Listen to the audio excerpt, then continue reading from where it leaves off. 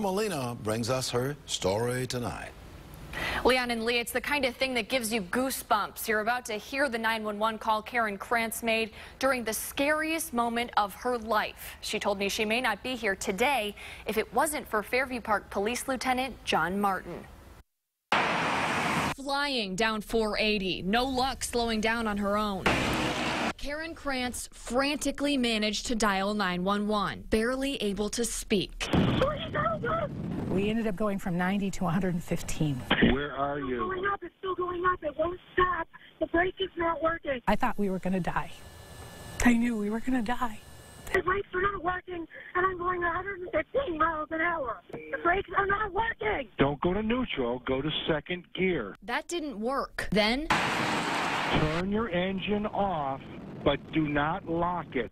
Do not turn it all the way off. Just turn it off so you can still steer. the car slowed down.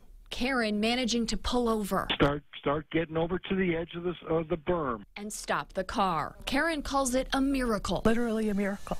Part of her miracle? The calm voice on the other end of the line when they needed it most. I'm so thankful for the officer. That's Lieutenant John Martin. He told me it's all in a day's work. You do feel good when you do help somebody through a situation. A situation this family will never forget.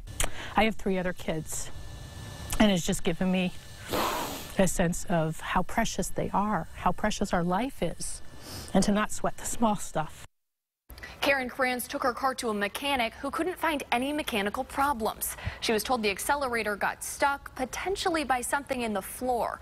And while Karen hasn't gotten back behind the wheel of that white SUV, she told me she is driving again. Live in the studio, Tara Molina, News Channel 5. Uh, thank you, Tara.